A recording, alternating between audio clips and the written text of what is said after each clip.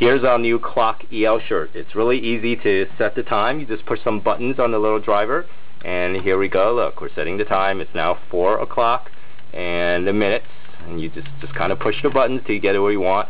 So here you go. This is now 4.11, and it's going to start going. That's it for the time.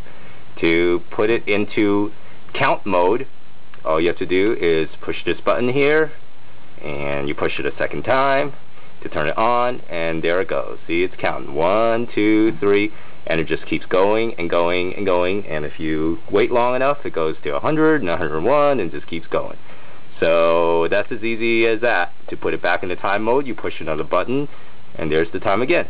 And it is a 24-hour clock, a military time, which means if you go further than 12, it starts going to 13, 14, 15, etc., till it reaches 24, and it goes back again.